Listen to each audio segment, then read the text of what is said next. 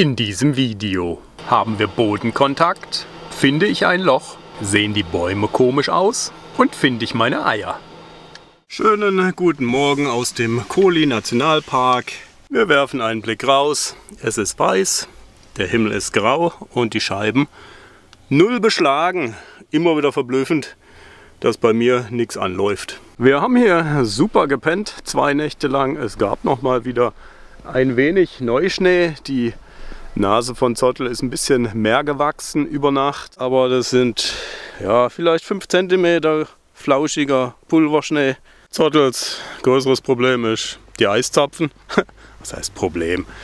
Er ist schon wieder hier mit dem Boden verwachsen. Da müssen wir jetzt gleich mal Hand anlegen. Aber ansonsten laufen alle Systeme. Heizung, keine Wasserprobleme. Und ja, wir sind guten Mutes und wohlauf hier in der Pampa. Das liegt wahrscheinlich aber auch größtenteils daran, dass es nicht sonderlich kalt ist. Wir haben minus 3 Grad irgendwo in Finnland. Das ist eigentlich ein Witz. Hier müsste es minus 15 bis minus 20 haben. Aber wer wird sich beschweren? Ich denke, die Kälte und die Probleme, die kommen noch. Wir genießen so lange, solange alles glatt läuft. Und wenn die Probleme einschlagen, dann versuchen wir sie zu lösen. Dafür sind sie ja da. Was mich ein bisschen wundert ist, dass der Schneepflug heute nicht kam. Es hat ungefähr so viel Schnee wie den Morgen davor, wo er hier den ganzen Parkplatz freigemacht hat. Heute hat er sich nicht blicken lassen, aber ist auch gut, so konnten wir ausschlafen. Und jetzt machen wir hier die Tür zu und wir fahren ab. Oh ne, nix Abfahrt. Ich muss ja hier noch das Eis abschlagen. Ganz schön dicke Dinger. Gott, oh Gott, ganze Amazonas Ströme sind da runtergelaufen. Kopf. Ist ja Wahnsinn. Ah, hier geht's einfacher. So. Und jetzt die Haube noch. Hä?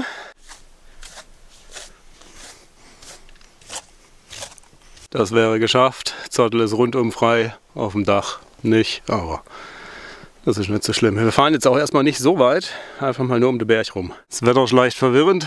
Da oben sehe ich ein bisschen blauen Himmel, aber es schneit wieder stärker. Ja, welcome to Finnland. He? Geil ist es hier. 11 Minuten, 7 Kilometer ist halb um den Berg rum. Wir gucken, dass wir das durch den vielen Neuschnee hinkriegen. Vermute aber, das läuft.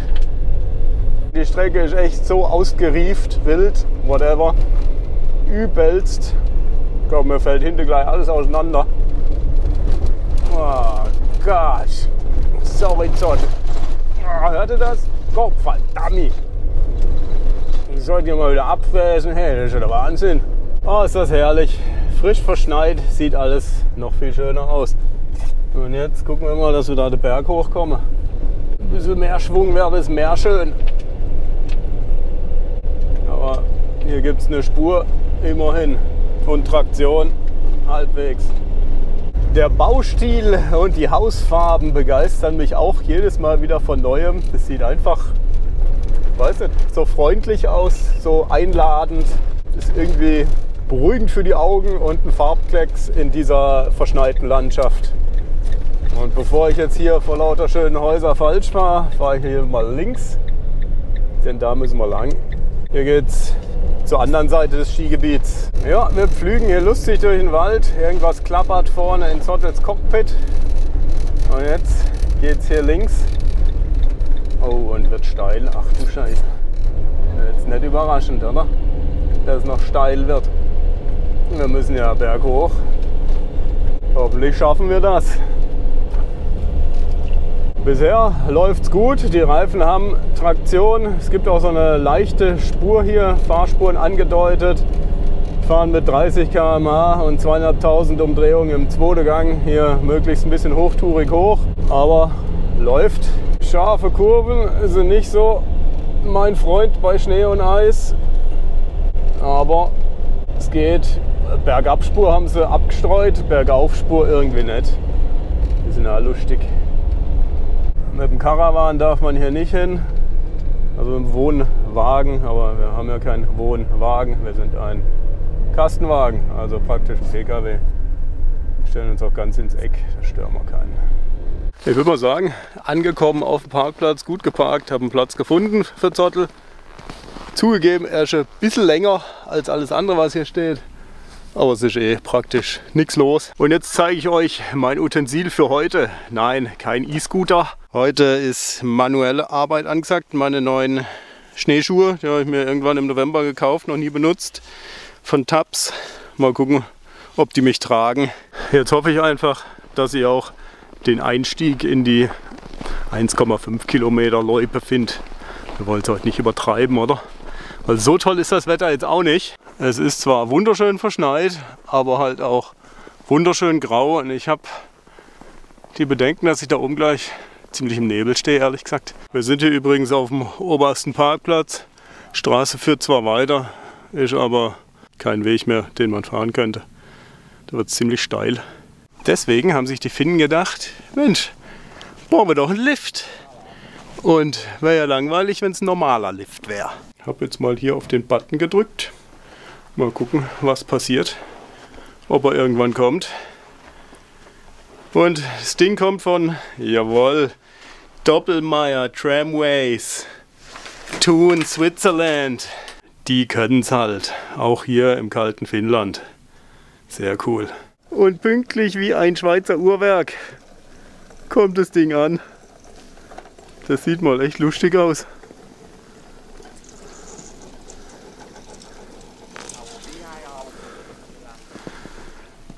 Das fährt sich dann jetzt wohl noch runter. Hä? Ach ne, das fährt bis ganz runter. Okay. Cool. Sowas habe ich auch noch nicht gesehen. Wir fahren ab. Fast wie auf einer Sommerrodelbahn fühlt sich das an. Einmal über den Hügel hoch. Die Sicht auf die andere Seite wäre sicherlich grandios, wenn man ein bisschen weiter gucken könnt. Also lohnt sich schon mal für die Sicht mit dem Ding zu fahren und bisher hat es nichts gekostet. Und lang ist die Fahrt auch nicht. Drei Minütchen und da haben wir schon die Bergstation. Überschweben hier noch die verschneite Straße. Guckt euch mal die Straßenlampe an. Eine Schneestraßenlampe. Da wären wir. Und ist euch schon mal aufgefallen? Es ist nichts los. Hier oben erwartet uns jetzt gleich der Konsumtempel. Spa, Hotel, Grill, Schlag mich tot, alles was wir eigentlich nicht brauchen. Wir bräuchten jetzt eine Karte, auf der steht, wo wir sind und wo wir hin müssen. Das wäre hilfreich. Na, habt ihr sie auch gesehen? Genau, da ist sie. Ich kann vermelden, die Schneeschuhe sind an den Haxen. Wir können mal gucken, wo wir hinlaufen können, um sie zu testen. Machen auf jeden Fall ordentlich Lärm und sind leicht. Und so ein bisschen geisterhaft ist das hier schon. Leerer Sessellift. Kaum ein Mensch hier. Die Bäume sehen aus wie Gespenster. Völlig eingeschneit und vereist. Und in der Ferne der zugefrorene See. Schon sehr speziell. Aber so richtig viel schlauer, wo ich jetzt genau hin muss, weiß ich auch nicht. Es gibt drei Möglichkeiten. Hier links führt ein Schneeschuh-Trail, weil er so schmal ist, in den Wald. Geradeaus führt eine Treppe bergauf. Treppen sind mir jetzt auf Snowshoe Trails nicht so bekannt. Und hier geht einfach Weg und Straße. Guter Rad, teuer. Ne? Ich glaube, ich versuche es mal in der Wald. Ja, wir laufen mal irgendwo hin. Hier geht's berghoch. Berghoch ist immer gut. Jetzt in einem Relief. Hauptsache durch den Wald. Und die Schneeschuhe sind mal im Einsatz. Und das ist der Blick. Quite nice. Wow junger Vater. Scheiße, ist das geil. Drei Meter weiter gelaufen, super Panorama, aber Arschkarte gezogen, da geht's nicht weiter, kannst du vergessen. Ich glaube, das ist Sackgass, das können sie unten auch hinschreiben. Das heißt also, müssen wir wieder zurück, Mensch. Und das Relief, was unten angeschrieben ist, ist das hier. Der Kollege wacht hier über den Berg. Servus. Schwer sich hier zu orientieren. Ich bin zurück zur Bergstation. Alle Schilder sind weiß, aber ein kleines grünes Schild, seht ihr das in der Mitte?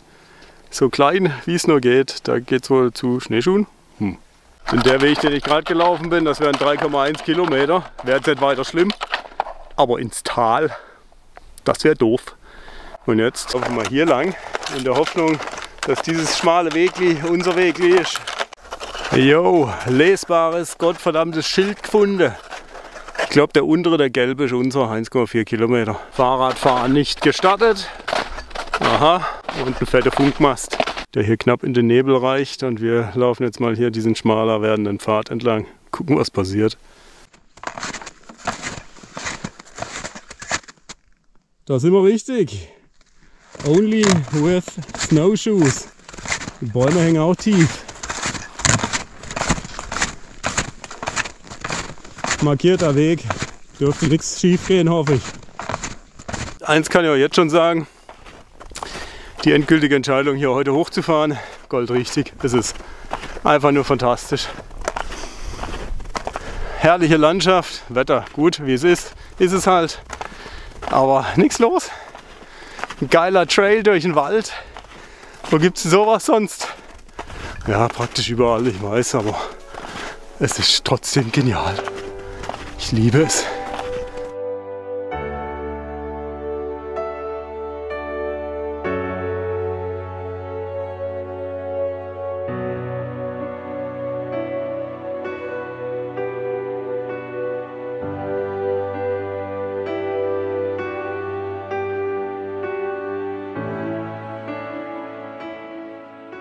Paar Meter durch den Wald geschossen und schon haben wir Sicht.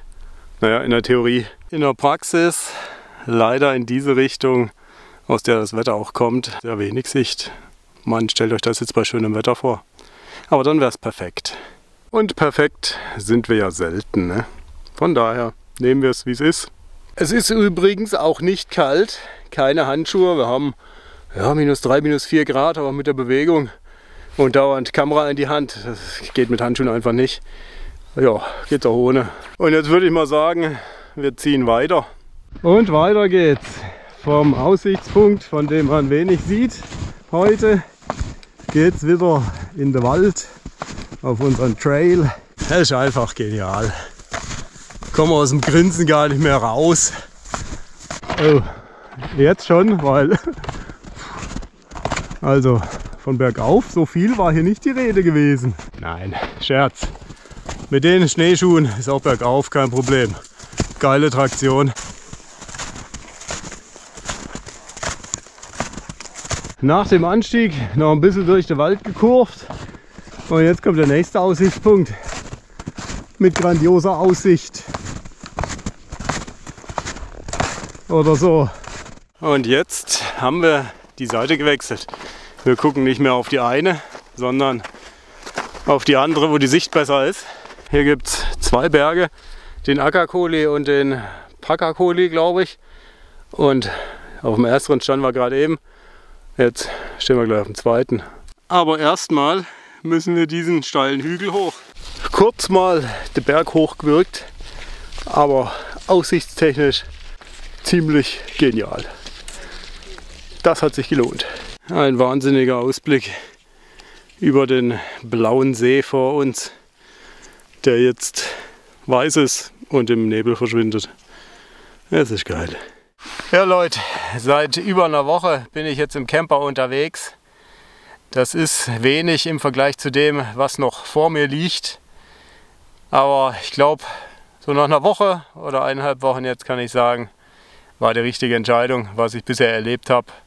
Einfach nur grandios. Landschaft, Menschen, Aktivitäten. Es ist unbeschreiblich schön. Ich bin froh, habe ich dieses Jahr Auszeit genommen. Wer weiß, vielleicht bleibt es auch nicht bei diesem einen Jahr. Das kommt von vielen Dingen, hängt das ab. Ist noch zu früh, darüber sich wirklich intensiv Gedanken zu machen, aber es grummelt im Hinterkopf bei mir und im Co-Pilot und auch bei Friedrich. Der hat das größte Problem damit. Ihr wisst warum, egal. Für mich ist dieses Jahr nicht nur Urlaub, es ist auch eine Menge Arbeit, denn das Bloggen und Vloggen benötigt sehr viel Zeit.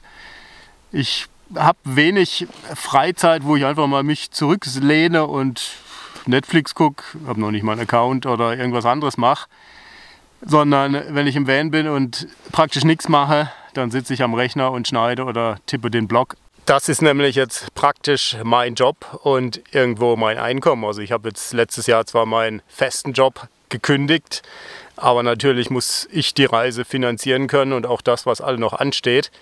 Und äh, da bin ich auf YouTube-Einnahmen und gewisse andere Dinge angewiesen. Das funktioniert bisher auch relativ gut. Das ist eine coole Sache. Dankeschön fürs Werbung gucken, das hilft sehr viel. Aber ich muss natürlich dranbleiben und Videos filmen, produzieren. Und das dauert alles Zeit. Die habe ich jetzt zum Glück, weil ich ja keinen festen Job mehr habe. Aber ich liege hier nicht auf der faulen Haut. Das will ich eigentlich unterm Strich sagen.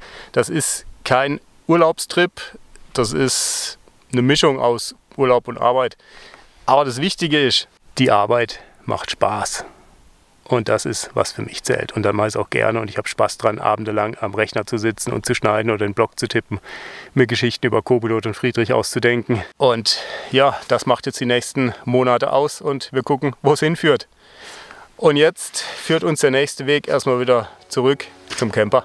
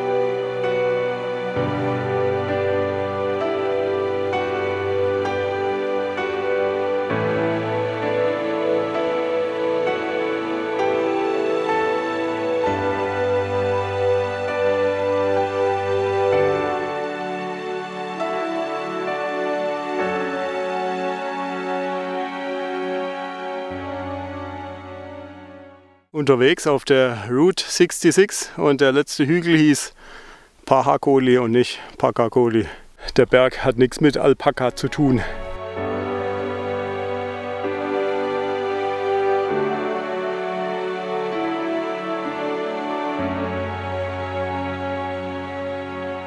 Geht noch mal ein bisschen bergauf hier.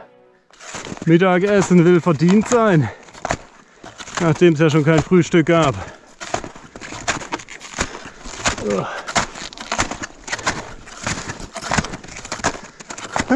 Wieder ein Ausblick. Immer noch grau. Ich kann vermelden, ich bin nicht verloren gegangen. Bin wieder da angekommen, wo es losging. An dem großen Gebäude, das on the top steht.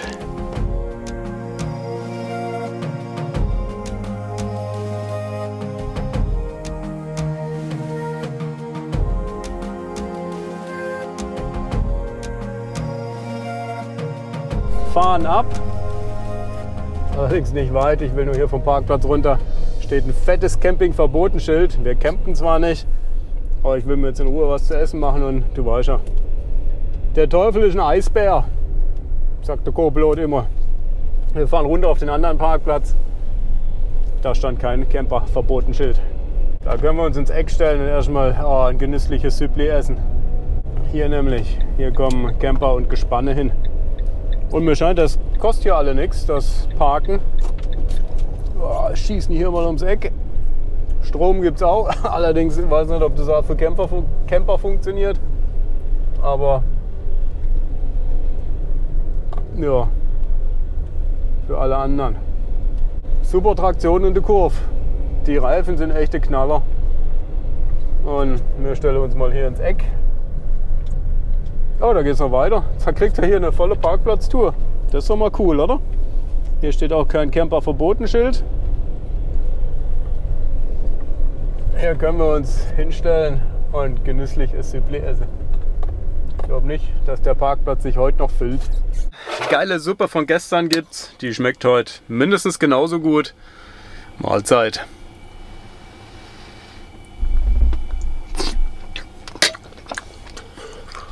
Half. Und während ich jetzt hier meine Suppe löffel, gibt es für euch eine Insta-Story. Viel Spaß. So, die Instagram-Story ist abgeschickt, das Essen ist gegessen und ich glaube, wir fahren jetzt mal ab. Es benötigt etwas Diesel, das Zottel. Sonst kommen wir nämlich heute nicht dahin, wo wir noch gar nicht wissen, wo wir hinwollen. Hm. Soll heißen hier, Kollege Schnapsnase, muss noch gucken, wo wir heute enden. Und es ist 14.39 Uhr und gefühlt habe ich den Eindruck, es wird schon wieder dunkel. Dieseltechnisch sind wir nämlich kurz vor Reserve. Es wird allerhöchste Zeit, dass wir Diesel in den Tank kriegen. Sonst geht uns hier im dümmsten Fall irgendwann die Heizung aus. Das wäre suboptimal. Und ich liebe es, auf diesem kalten und guten Schnee zu fahren. Es ist, als würde ich auf Asphalt fahren. Immer wieder verblüffend. So, und jetzt nicht aus Versehen bergauf fahren vor lauter Spaß, sondern mal gucken, was bergab so geht. Wir können festhalten, bergab geht auch gut. Man kann auch mal bremsen, kommt kein ABS, greift super. Wir sind wieder da, wo die kleinen schönen roten Häusli stehen und halten uns links die Rumpelpiste hinter uns und hier kommt der riese Tankstelle. Und danach geht es wieder auf eine hoffentlich besser geräumte Strecke. Uns wird echt schon wieder dunkel. Was kostet Diesel 1,84? Hier gibt es sogar einen Parkplatz für Camper. Tank wieder voll, wir können weiter. Wir können wieder zwei Tage fahren und heizen. Juhu! Das Witzige ist, wir fahren gerade so ziemlich ohne Plan irgendwo hin, ohne zu wissen wo. Also nördliche Richtung. Aber das war es auch. Bin mir gerade nicht ganz sicher. Aber ich glaube, da kommt gerade Nieselregen vom Himmel bei minus 1 Grad. Das ist irgendwie nicht so sexy. Wir erreichen Yuka und ich will mal gucken, ob ich hier noch irgendwo einen Supermarkt finde. Lustigerweise ist hier gleich mal ein Supermarkt direkt an der Tanke. Das ist praktisch. Dann mal raus in die Wärme. Plus 1 Grad bald, also noch minus 1.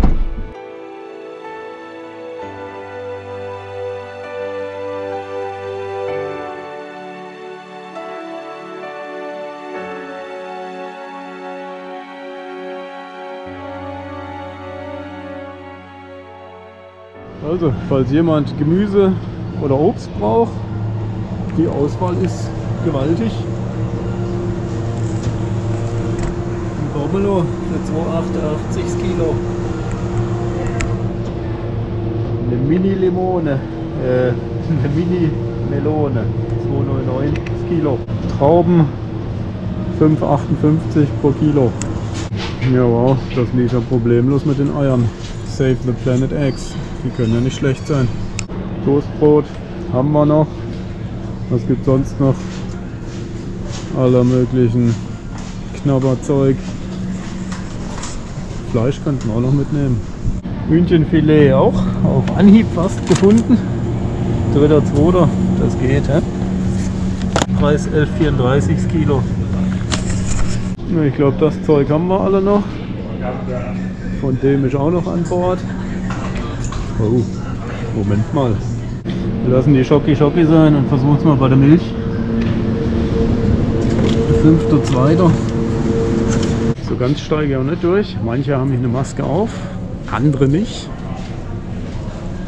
Was muss man haben, um keine tragen zu müssen? Hm. Vielleicht muss man ja Bier dabei haben. Oh, warte mal, hier den Gin, das Gin-Zeug habe ich doch bei Mike getrunken. Aber eigentlich war noch Bier an Bord, wir sind eh noch zu schwer. Ich muss erst noch trinken, glaube ich. 4,05 Euro der halbe Liter. Ist der Wahnsinn. Dafür geht das auf. Die Wasserpreise sind hier übrigens auch nicht ohne.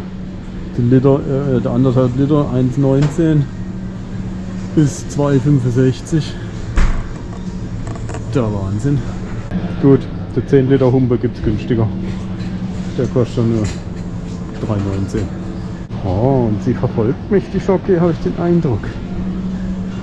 Oh, nein, nein, nein, nein, nein, nein, nein. Junger Vater, es wird nicht besser. Ist urgefährlich sowas. 8 Euro, schlag mich tot. Und jetzt, glaub, fahren wir weiter. Und ich habe keine Schocke gekauft. Ganz ehrlich, nichts, nüt.